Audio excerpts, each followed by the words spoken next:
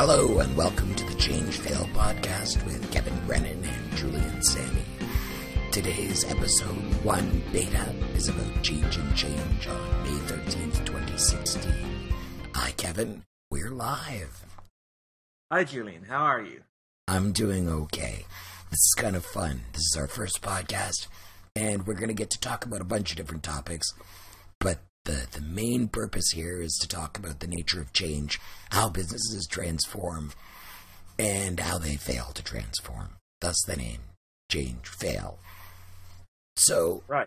why don't you introduce yourself first, and then we'll get more into a conversation about, you know, about the nature of uh, some fails, uh, failures to change and some change failures. So, all right. Well, as Julian said, I'm Kevin Brennan. Uh, I am a business transformation consultant in Toronto, Canada. And, you know, the obvious question most people ask is, what does business transformation mean? And, you know, business transformation is, of course, about change, in particular, the kinds of change that are forced on you by big disruptive changes in your environment, such as a new competitor coming on board, a shift in technology, um, or even true disruption in the Clay Christensen sense of new technologies and business models that render old ones obsolete. And I've been working as a in this space for about 20 years. Uh, starting off as a business analyst and project manager, then with IIBA, and now as an independent consultant. Julian, over to you. Oh, so I've been uh, doing business analysis and you know design thinking work for, gosh, I guess about almost twenty years now too. Although I started off as a as a coder and a developer, and eventually got into doing a lot of uh, more senior strategic work. It's been a very interesting journey going from you know the the design side of things where you just jump in and start writing code through business analysis and into a much more structured way of thinking about what changes are, how they work, and how they fail. Uh, I've also spent a lot of time looking at human nature and how that affects our ability to change and our ability to stay the same, to remain stable and resist change. Both are important. So I take a very behavioral, human psychological point of view to a lot of the work that I do. I also do consulting. I do public speaking about change and, and transformation. And I'm particularly interested in the relationship that people have with technology and how it's misunderstood and often misrepresented. And, and I care about that because that limits our ability to change and to alter our organizations effectively. Um, I actually wanted to comment on one of the things you mentioned is that you're moving from a more development oriented uh, focus through business analysis then on to human behavior. Because I've seen the same thing over the course of my career. You know, I start as a BA, I was primarily focused on the technical aspects of change, right? Understanding what the requirements were for a new solution, figuring out what that solution would look like, how it would work, what it would do, and then you know kind of deploying that out to all the people in the business saying there you go there's your new solution.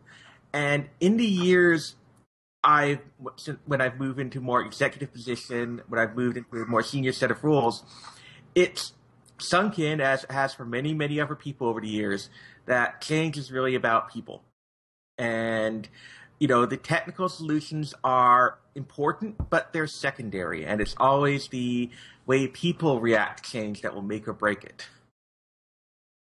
Yeah, it's so tempting to try to simplify people out of the equation.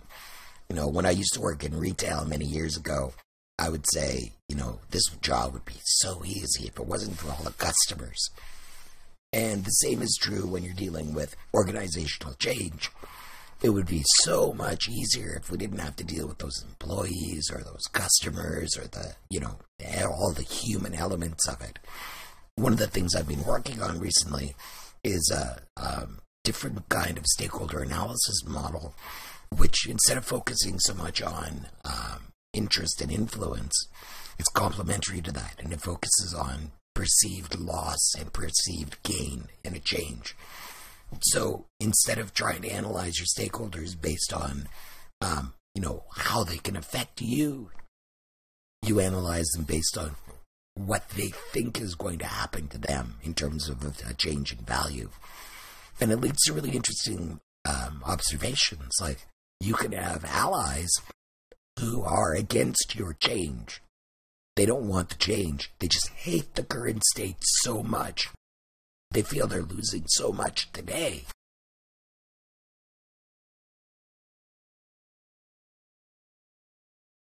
That was actually the example that came to my mind too. Yes, uh, we I think we definitely are, and you know, without going into the ins and outs of different policies and offers. You're seeing it on, uh, you're honestly, you're seeing it on both the Democratic and Republican sides.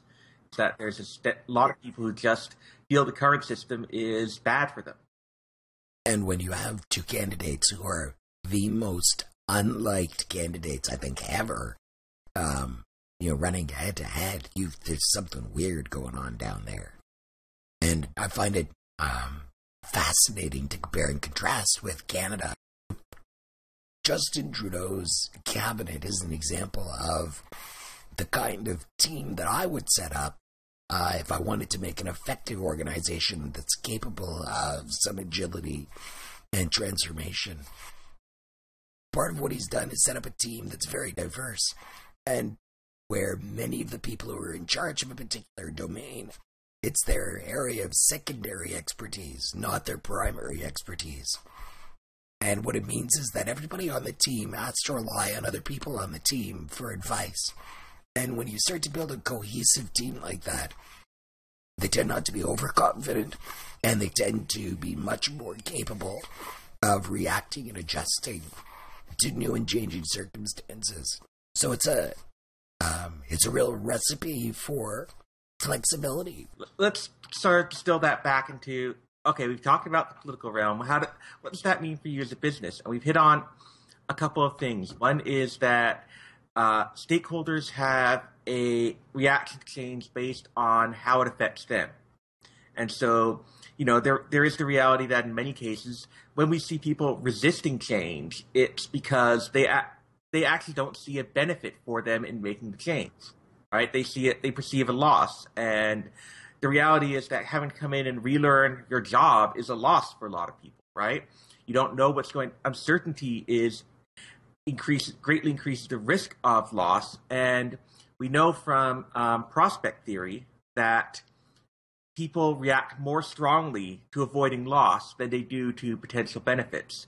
So when you put all this together, it's no wonder that a lot of time people resist change. And I think you know prospect theory is one of those areas that really once you get it, once you understand what it is, it really reveals a lot about how people react to real world problems. So I think maybe we could take it. We should take a moment and talk a bit about what prospect theory is, since I know a lot of people won't be familiar with the term. Well, Daniel Kahneman um, is a behavioral psychologist. He worked with uh, an economist whose name eludes me at the moment. Tversky. Right. For many years, and they developed what really they invented behavioral economics. And the big difference between behavioral economics and regular economics is that behavioral economics presumes that humans are not rational, which, uh, you know, is just reflecting reality. So when you look at, at uh, economics from their point of view, you come up with things where uh, you look at behaviors from an evidence based perspective. Prospect theory was uh, they came about because they were looking at how people actually react to losses and gains. And um, what they found was this really neat curve where people react to losses, as Kevin, as you said, much more dramatically or strongly than they react to gains. And what that means is you can nickel and dime someone to death, but you can't like dollar them to happiness. The the amount of money or gain that it takes to feel um, feel rewarded is much more significant than the amount of loss that it takes to feel real pain. And that leads to really strange and human behaviors. And you can divide up people's losses and gains into different categories. And in some cases, there is no way to pay off a loss or to erase a loss unless it's with the same kind of gain. Like if I lose money, I can gain money and erase that debt. But if I lose like reputation or lose face with my executive team, I can't pay the money to get that reputation back.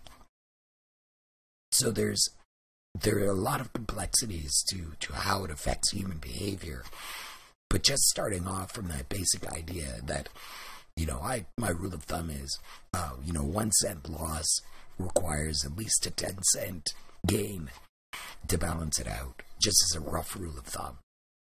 Yeah, and what was interesting about their experiments is that they really did them very rigorously. Um, what the way they worked is that they set up two problems which involved identical amounts of monetary impact, but they phrased one of the problems as, you know, you will make X number of dollars if you go down and you have a couple of options, and the other was you will lose Y number of dollars if you choose one of two options.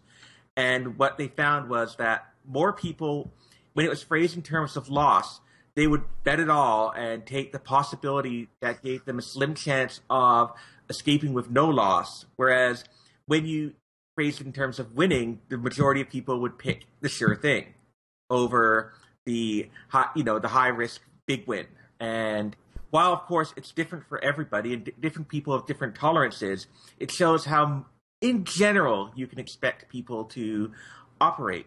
And you know, I started applying it years ago when I was teaching project management because one of the things that you see is behavior in project in projects and you know, I know that agile probably agile methods probably reduce the impact of this, but in traditional kind of waterfall sorts of projects, you get this behavior of people doing crazy things to hit the deadline because to the project manager, winning is coming in on time, you know, on budget and everything else, and failing to hit that deadline is seen as a career failure. So, you know, if there's any chance on big projects that you can hit, still hit that deadline, or you can convince yourself there's a chance, people will people will take that, and they won't take mitigating actions that would ensure that they run over the original budget, but would probably reduce the amount by which they could go things could go badly.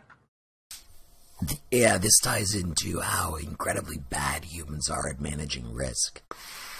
We uh, we're really really good at managing danger, which is a gut feeling. It's a heuristic, and it's about fear. Whereas risk is a calculation that's much more intellectual, and we have no natural capacity for it. You have to do the work and think it through. So, you know, those project managers are working from a position of fear and danger, not of risk and risk mitigation. Even though they're trained in risk and risk mitigation, that's not how they react, and they're trying to manage their own piece of work. And you see that in all kinds of changes in organizations. Uh, people say they're doing risk analysis, but really they're they're doing danger analysis. They're doing gut-based fear analysis and acting based on those things instead of um, instead of based on real risks. And when that happens, that's setting you up for a failure. Either you fail to to initiate a change because you're too afraid of what the consequences would be, or as you're making a change, you fail to take the appropriate actions to to manage the risks associated with it, and then uh, you know running way over budget or over time, which I mean that never happens, right? Yeah, yeah. But when you couple that with other typical human behaviors, such as you know the lack of desire to make major alterations that you hope may not be necessary, right? Especially ones that could have a negative effect on your company, and this is where you get into the, the classical disruption mode, right? Where somebody comes and eats your lunch, but you don't make the change because at every point it seems like you're going to have to take a big loss to adapt to, you know, a new business environment. And the result is that, of course, you know, when we say people resist change, well, of course they resist change uh, because they don't see a reason to change until until it gets to the point where the, the need is obvious. I think it's more accurate to say people resist loss. They don't resist change, they resist loss. Because people seek out gains. You know, if there's a clear opportunity to uh, to to make more um, more profit on a on a product, and no particular downside. You're moving into a new market with no significant differences from your existing market. There's no big risk. There's no you know big chance of failure. You're just going to do it. Now that's a change, and it's not one that you your organization would have a lot of internal resistance to, because it's a change that is a gain. You know, moving into China when you're a, a Canadian company and have no real understanding of how the Chinese market works, mm, maybe there's some risk there, maybe there's some fear, and there's really a lot of potential loss. And so maybe you avoid that. You know, well, we'll deal with that later. We we have other things to, to do right now, even if it's a huge opportunity. Maybe. Although interestingly enough, I suspect you'd find that a lot of people would accept that kind of opportunity, one where they don't really understand the risks and downsides involved, but it looks like pure upside. So that's an important clarification, right? If you're misinformed or don't understand your actual situation, then you do lots of things that are that, you know, in retrospect you might regret. And I'm not talking about any of my ex-girlfriends. I wasn't even going to go there, but to bring it back to even the project side of things, right? That's that's where you start off with wild optimism. At the early, in the early days of the project, it's like this will be yes. easy. Come on, it's oh, great. yeah, we've done this before. This will be no problem. And now we're using agile, so it's just go. What could possibly go wrong? Well, you know, you know better than to invoke Murphy like that. So, in a, you know, when we talk about, you mentioned disruption. I think it's an overused term in many cases, but there have been real transformative moments where the like a marketplace is being completely transformed, where it's being um, overrun by by a new organization or invented with a new product. I mean, Twitter invented something, Facebook invented something, so did Google, so has Apple right? Like they created entirely new markets. Those are enormously disruptive. And then there are, um, you know, organizations and markets that have failed to change to, to keep up with the times, especially, I would say, newspapers and magazines in the case of, you know, dealing with the internet. So, um, you know, I think there's a an example of organ organizations where not only have they like failed to change, they've they've actively resisted any kind of uh, adaptation to take advantage of some of the new opportunities. And you know, it's, it's one thing to, to observe that and say, yeah, I've seen it, and, and oh, the newspapers are dying. It's another to try to figure out what could they have done differently. And, you know, are there success stories? Like, the New York Times is still doing okay. They've chosen a very different model than, than most magazines and they're a powerhouse with a reputation that allows them to have a paywall that like other organizations can't replicate. So what does you know Maclean's do, or you know um, Time, or others you know other organizations that are supposed to be producing news, but no longer have like the ad-based revenue streams that they used to have. It would be very useful if they were to disconnect their publication, like the actual printing and distribution uh, arms, from their organizations, like sell the printing press. And I can't imagine that any of those organizations are willing to do that because they're falling prey to a sunk cost fallacy. You know, like we spend hundreds of millions of dollars on printing presses, and now you're saying get rid of them? So you know th- that's a, that's a good example. So let's unpack some of what you were just talking about there. Um, I agree with you that disruption is wildly overused. Disruption now, people talk about something being disruptive when it's just competition, right? I mean, you know, the theory of disruption as it was set out has a certain number of predictive elements, and you know those elements often don't apply, right? Disruption theory it assumes that you're looking at a case where you have somebody coming in to market in a certain way with a certain approach uh, that where the reasonable and logical response of existing incumbents is to not respond because they have they actually it's not initially a big threat to them. It's only as the new method, new approach gains steam that they really run into a situation where it becomes a problem. You know, the good example being Blockbuster versus Netflix, right? Uh, when it started off, Netflix was just this kind of mailing DVDs around, and that really didn't seem to be a danger to Blockbuster stores. You know, Blockbuster had deals that made sure they had all the great hits. And it was only as Netflix got bigger and bigger and got more and more, you know, s- stuff on its service that it became a real threat to Blockbuster. And by then it was too late for Blockbuster to adapt. Do you think Blockbuster could have adapted? Like they, they eventually started mailing out DVDs, didn't they? Well, they turned down an opportunity to buy Netflix, as I recall. I didn't know that. I did not yeah. know that. Interesting. So, you know, could they have? Yes, and in fact, there there are there are quite a few companies that have successfully adapted. But let's go back to, you know, your newspaper example because they're a great instance of an industry that is facing massive change. Um, we also see similar things with music stores, right? Where I try to find a try to find a record shop today. There's one that just opened up down the road from me. Are they all vinyl? Yep. So it's they're they're not banking on music; they're banking on nostalgia. Yeah, or that particular, or they're going they're going for a very niche market, right? But the the mainstream record stores uh, that I remember, they're gone. Yeah, and newspapers ran into a similar problem because what happened is that you know the old newspaper model, the old news media model was essentially you know advertising pays for the news, and you put a firewall between the news and that and advertising, and the newspaper is basically kind of a wrapper for the classified ads. And then you got Craigslist, and Craigslist, and if you took, take a look at a chart of newspaper industry ad revenues, it just sort of falls off a cliff as Craigslist gains speed. Right.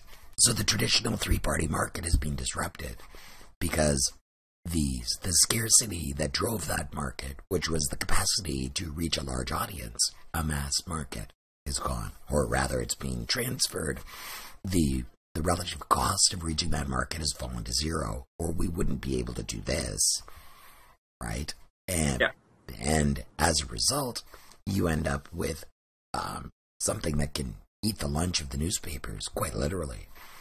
Um, so we've talked about a couple of things here. One is uh, the theory of disruption. Do you have a, a particular author or a book or something about that? Because I hadn't, uh, I know about disruption. I've read about it, but I didn't actually like read a specific book about it. Well, what I'm in the process of reading right now is the Disruption Dilemma, I believe, by Josh Gans, because it's a book that actually takes a look at history of disruption theory, the experiences that have had, looks at some of the examples, and is kind of making an argument about how it does and does not apply. You know, because the initial the initial examples, while interesting, we've seen a lot of companies actually start to respond to this and find ways to deal with it. So it's not as impossible as one might think, especially if you recognize that the disruption is happening. When we're talking about the three party market and Craigslist and so on, Kevin Kelly um, wrote an essay many years ago. The essay was called Better Than Free. And it was talking about um, the the things that are valuable when you when the the uh, traditional supply and demand uh, equation breaks down. What happens when there's no scarcity? Supply and demand for setting price. That whole theory doesn't work when the supply is essentially infinite, which is the internet, right? That's music, that's podcasts, that's data transfer, that's uh, you know newspapers, that's news. It's affecting all of those things, and traditional economic theory has some trouble with that. Where thing where you do find value is not in the base product; it's on something about that product. And I did a bunch of analysis on that a few years back. And one of the things that I found was that value becomes um, an assessment not so much of what the product can do or its basic functionality, but of what it says about you or an experience that it gives you. I think that's exactly right. And you know, when you go when you take a look at say news media, The problem is that the advertising model online is pretty pretty ugly unless you radically change the way you work. You see companies like BuzzFeed that are successful in a new media platform. You know, they typically have a much smaller staff than the major newspapers because not only do you have the problem of you know classified ads moving on to things like Craigslist, you even have the more mainstream advertisers, the brand advertisers, looking at things and saying, okay, you know what, we'll put some ads on your site, and you know, I, this is something I actually read about in another story, and I don't have the notes available, but that is actually saying what we're going to do is we're going to put the ads on this site that we know gets the audience we want, and we're going to put cookies on those ads. And we're going to track the other websites they go to, that, and then we'll figure out which one costs the least to advertise on, and that's where we'll put that's where we'll put our stuff because we now have all this information about what our audience wants to look at. Right. It's starting to change. The advertising industry is still struggling to make use of the data that they have, but there are those those initial forays in there where they're starting to take advantage of the big data. And when you talk about a company like BuzzFeed, one of the things that they've done is disconnect from um, the idea of having like one website where I go to read the news. That whole paradigm is like buying a magazine where I uh, consume my news from. Like it's one collected source. What BuzzFeed has done is said, you can come to our site, but we don't care. What we want to do is we'll go to where you are. So, like, I've never been to the BuzzFeed site, I don't think, but I've read lots of BuzzFeed articles on Facebook. And I've seen lots of links on Twitter. So, like, they've, they've disconnected one piece of the traditional uh, thinking they've disconnected from that completely and are approaching it from a different perspective that's not attached to that. Uh, I have to bundle it up and package it as a magazine idea. Fascinating. Right. And there's another person to think about, Jeff Jarvis, who's on uh, the the Twit network a lot and has written a bunch of books, um, like What Would Google Do and uh, Gutenberg the Geek. Um, he's talked a lot about this kind of stuff because he's a journalism professor and thinks about those kinds of things. And Clay Shirky is another one who uh, he's fun to listen to. And it's some very, very interesting ideas about how these markets can work. So to bring this back to what we were talking about earlier, though, you know, when you're presented with this kind of fundamental sh- shift where the business model you had no longer works, what does that do to the people who work in that industry? Because you know if you're a journalist you have a very clear self-image of what you do what the value you provide to the world is and why it's important. And all of a sudden here's you know this whole thing coming along and sweeping that out from under you. And a you know do you have a place in that new world as a journalist? And b how do you replace that the function that a relatively independent news media could serve and there you know, I think this, there are a lot, of people trying to solve that problem, but it it's no wonder that newspapers were kind of slow to pick up on on this because there isn't an obvious way to continue to be who they thought they were. So this is where we get into framing. Um, the way that newspapers and magazines have uh, framed their own perception of themselves is around um, like gathering the news but it's also around distributing. Like, it, there's a huge amount of it that's about the broadcast and the distribution. Journalists could still be journalists, and I think there's a business model there where they can be paid and paid well to be journalists, be, you know, the, the fourth estate. But they can't do that and also be broadcasters in the same way that they used to be, like going out to mass media.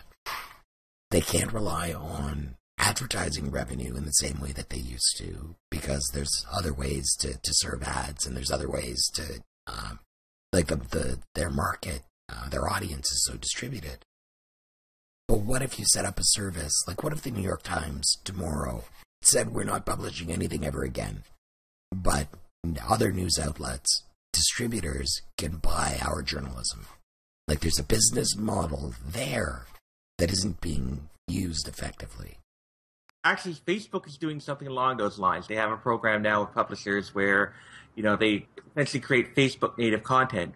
And the reason that can work, although, and the New York Times actually signed up with them for this, right? Is that Facebook has enough control over the, an audience that they can command, I think, a certain level of ad rates. But, you know, between, I'm not thinking that we necessarily need to solve all the problems of journalism. But I think what we can do when we're talking about change is ask ourselves, okay, so let's say that you're a business leader in an industry that's going down this path. How do you create conditions for successful change in your organization if you're faced with, you know, looking at, you look down the road and you see that in 10 or 15 years, your industry won't exist in a recognizable form? So there's a couple of things that come to mind. I mean, the first thing is that you should hire us to help. No, no. The first thing the first thing really is you need to take the time and expend the energy to really understand your own business model the way it is today. Because if you don't know your own business model, and it's shocking how many organizations really don't understand their own business model. If you don't understand that, then it's very hard to understand what pieces can be disconnected or uh, which pieces are going away like the news industry doesn't uh, doesn't really understand their own business model. The music industry doesn't either, and as a result, they're not able to see where change might be possible, even radical change, or let alone simple change. I'd say the second thing is to start preparing your internal stakeholders now and setting up your organization so that they understand that change will happen. Discussions about what the future will look like, what kind of loss those people experience, and what kinds of gain they would experience. Having those conversations early and making them normal would really help with shifting the mindset, the corporate culture, to being able to adapt when it comes time to really do the big hard work. So let's decompress one of those things because first thing you mentioned was understanding your real business model, and I think that you're right in that a lot of people don't understand their business model in the sense that they don't understand what are the pieces that really generate value for their customers. Because quite often, the things that you think are important aren't really where the value lies. we've both been in a lot of those conversations where we're talking to a group of stakeholders, and that basically they're insisting that this piece of it is critically important. And the reality is, well, it's critically important to a, cer- a certain group of people, but not to everybody right? Right.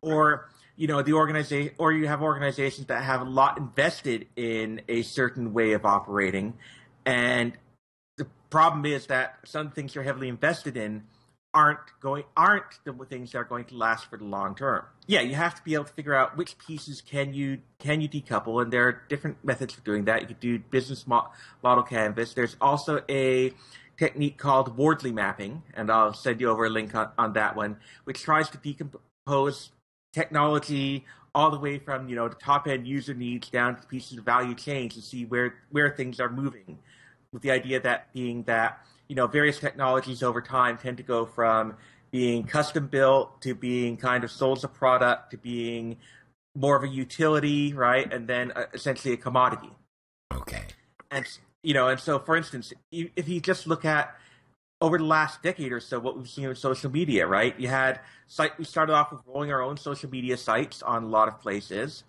and over time it went from okay, then people started giving you products that you could plug in, so you're not coding your own stuff, to now you know most social media activity happens through a set of things, right? Yeah. And ultimately it may just be like this is what it is and you ha- if you want to do social media you just go straight to facebook or whatever or two or three companies and they own the entire market.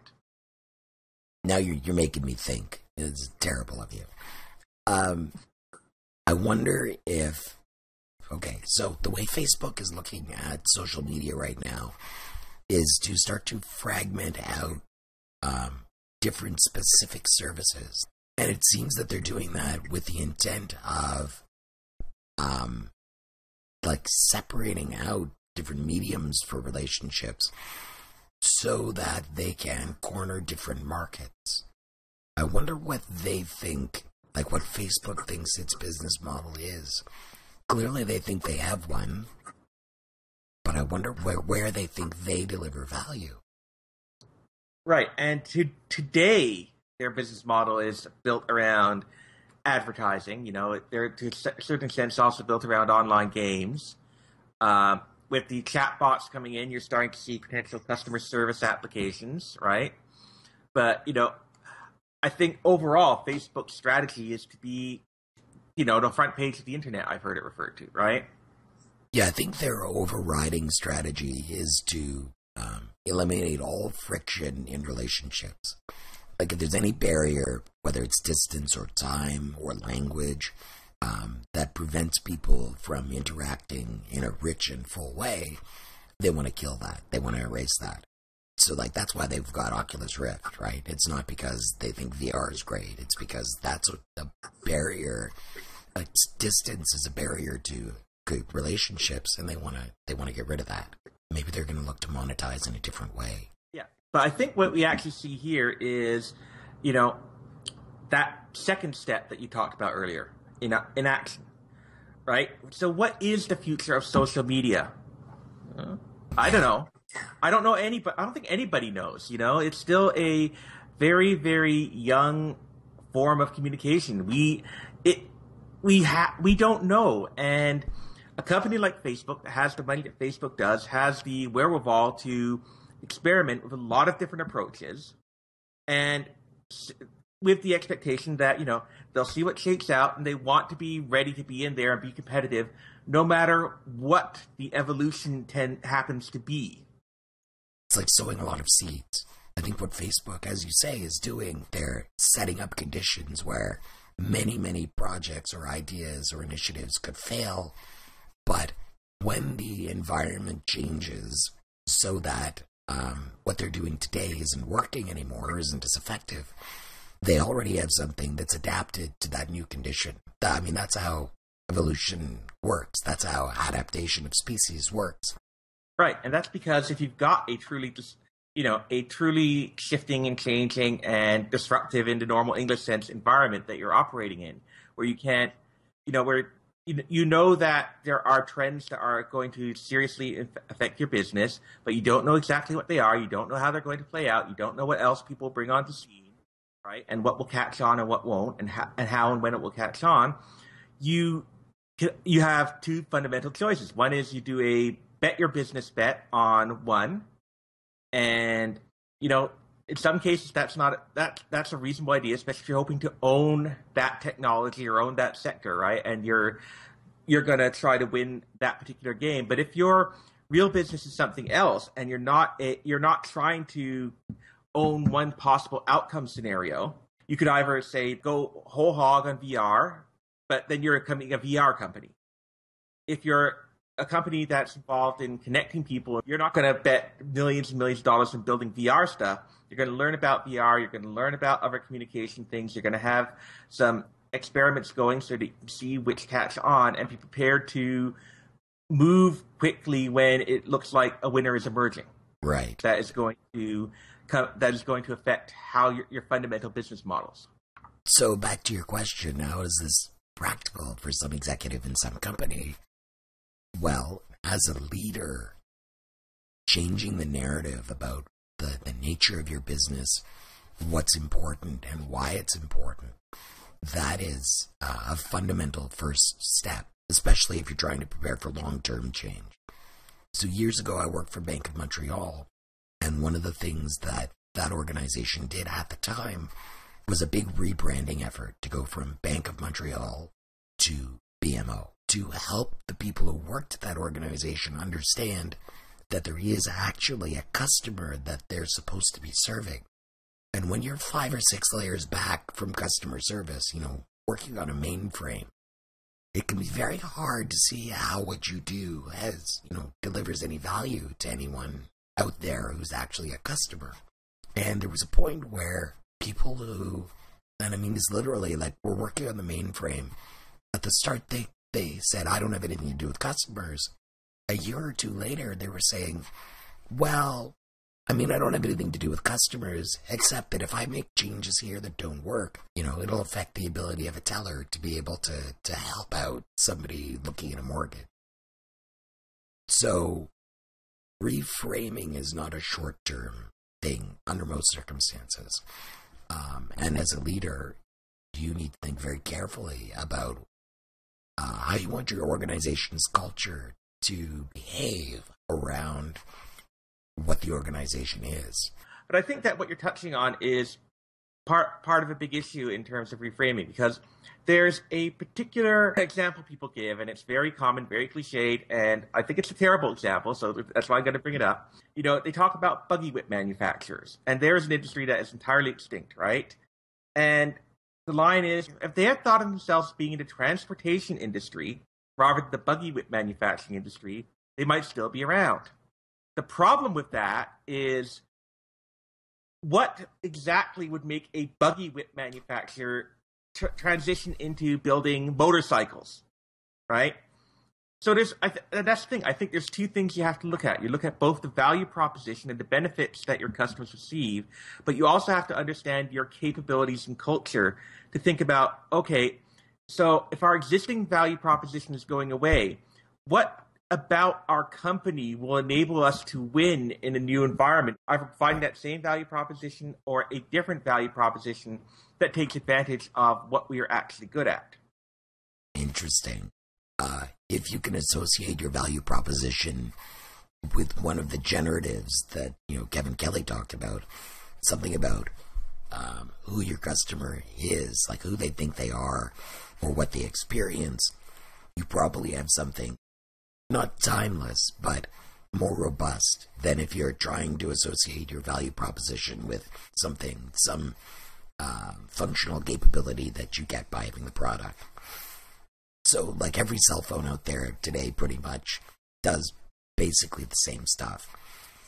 But a person who buys an iPhone, they're doing that not for the functionality so much as for what it says about who they are and for um, having a particular experience that they want to have. So, strategically, if you can tie yourself to that kind of thing, you're likely to be able to build a loyalty to your organization and a mindset in your organization that's focused on something that will persist even as the market changes. Yeah, as long as your capabilities still align to the direction the market is taking. That is where I think you can see a successful company fail. Just a sec. I want to, to dig into that. So take Apple, for example. They're focused on giving people a particular experience and letting people feel that they are a certain kind of person.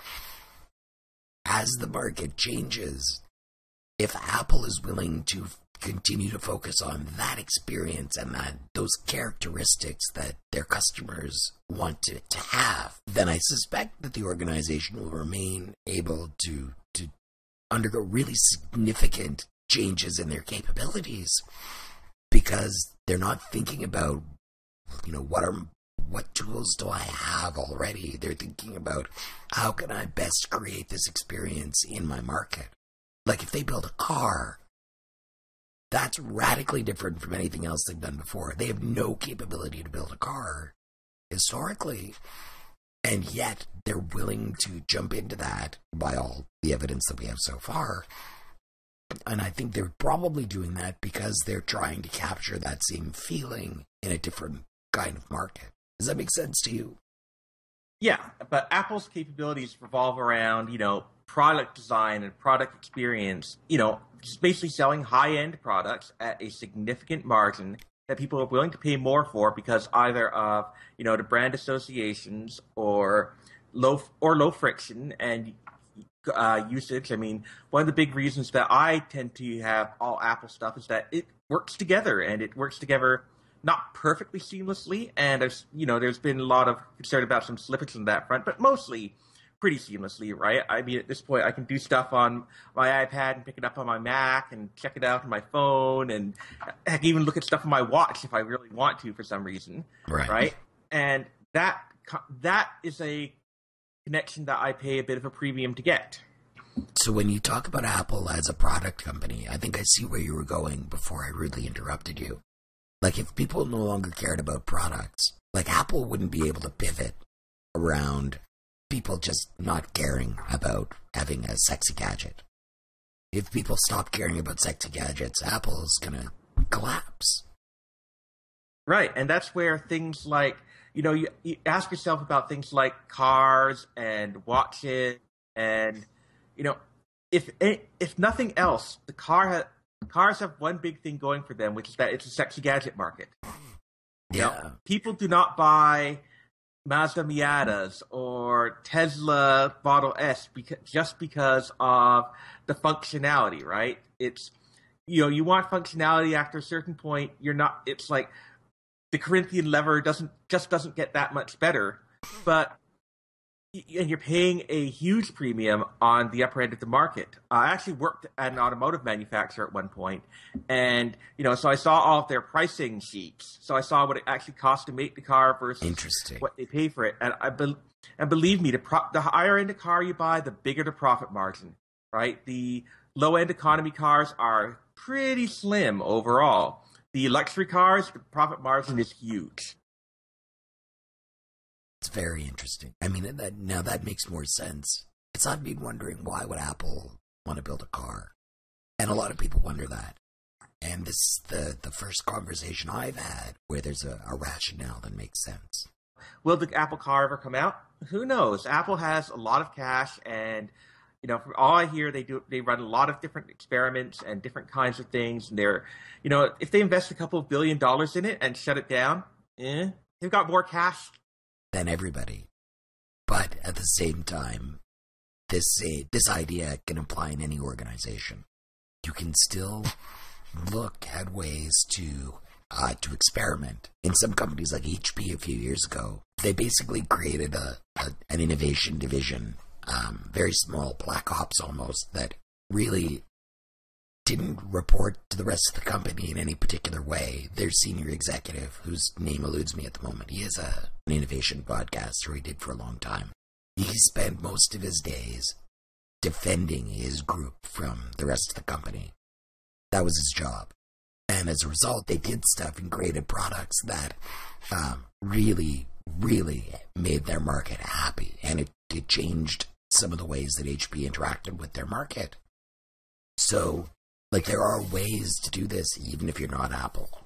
And even if you're, you know, somewhere in the middle tier of your, your management hierarchy, there are ways to allow that kind of innovation to incubate and to encourage it, even if you only have control over like a small piece of local culture. Yeah, absolutely. I mean, you can get people to work with and experiment in that, that space, right? You can direct them to spend a certain amount of their time really getting to understand those markets and those technologies and how they work, particularly if you're not a technology firm. And, and that's, I think, one of the big differences, right? Because when we're talking about Apple or HP or even Facebook, they got they're the ones who are trying to build this stuff. And that takes a certain amount of capital, it takes a certain amount of engineering experience. But if you're a company that is, say, I know, if you're in the newspaper business or you're in some services business and you're trying to figure out how is this stuff going to affect me down the road, you don't need to be going out and building your own VR kits. You just need to be taking the time and energy to keep an eye on that market to maybe pl- get spend some of your people have, let them play with those toys so that they can start to understand them so that if those things take off, they're in a position to grasp them. And you need to be prepared to reconsider reconsider certain things because you may see that something, you know, that initially didn't look that promising actually turns out to be much more important than you thought. Uh, a good example of that would be, you know, and going back to our past experience, right? But on social media, uh, back, a number of years ago, you know, looking at the different platforms and determining that LinkedIn was by far away much more important than Facebook for terms of getting the message out about yeah. business services. What I'm hearing and what I'm starting to understand is that outside of North America, in particular, Facebook has become much more of a business oriented platform in a lot of countries. And a lot of it's used for a lot of professional communication. And so, you know, I would at this point in time kind of if I was dealing with an international messaging, I would probably take another look at that around Facebook and see, you know, is it now valuable enough that you need to reconsider your engagement with it? Well, you know, when when we were setting up this whole Change Fail podcast and website and so on, I mean, we didn't create a LinkedIn page, but we've got a Facebook page.